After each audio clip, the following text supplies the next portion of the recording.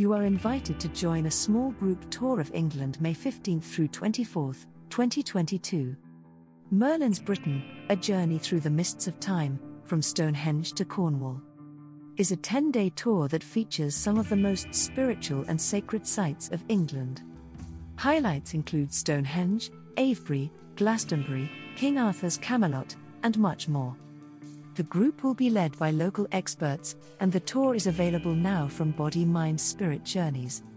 Click the link below for complete details and how to register.